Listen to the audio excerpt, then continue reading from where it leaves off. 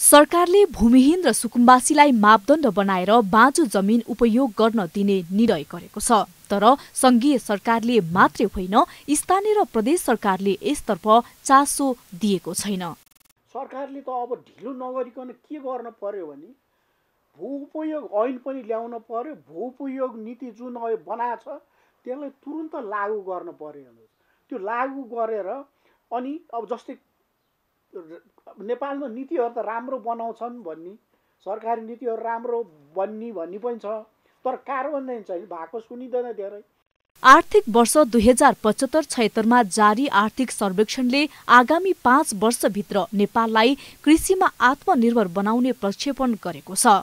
यसका लागि pocket block John र सुपरजोनका अवधारणाबाट कृषिको उत्पादनमा वृद्धि गर्ने लक्ष्य पनि लिएको छ। तर बनेकै कानून कार्यान्वयनमा भने सरकारले पहल गरेको देखिँदैन।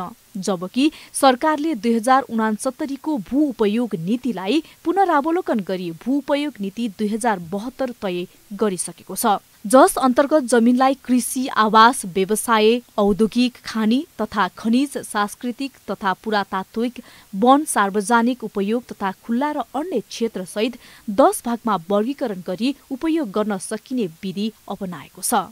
भन्नुहुन्छ धेरै जस्तो हाम्रो त फेरि भूमिहीन पनि छ जमिन धेरै भएले चाहिँ नि खेती नगर्ने त्यो भूमिहीनहरूले त बिचरा उनीहरूको आय आर्जन गर्ने स्रोत ऊ नै छैन।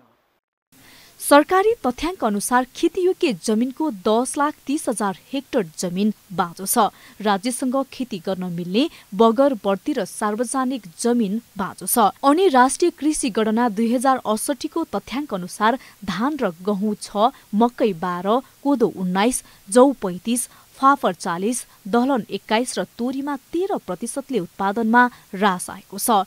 एकातिर बाँझो जमिन बाँझै रहने र अर्कातिर भूमिहीन र सुकुम्बासीले जमिन नपाउने समस्याले कृषि आयात बढ्दै गएको छ।